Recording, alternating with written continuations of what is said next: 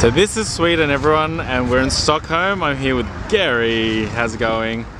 We've ridden our bikes for hours, not really, but it's a long way from the cruise terminal to Stockholm in the middle of the city and this is the Grand Palace, the Royal Palace here in Stockholm.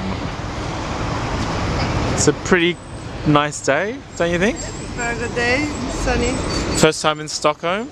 Yes, Do you like it? I love it. It's a really beautiful city. So we just got our bikes and we're just going to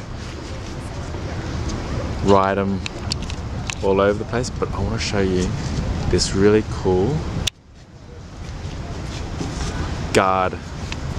She's a really pretty girl. Number one in the boat now. The number four is I've never seen a girl guard. Have you seen a girl guard Never. before? First time and she's so stunning. She's really beautiful. I really wish I could show you.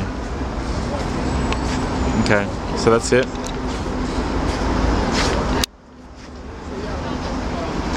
And that, my friends, is Stockholm from the Royal Palace. That's it, and that's around the what I am in Sweden.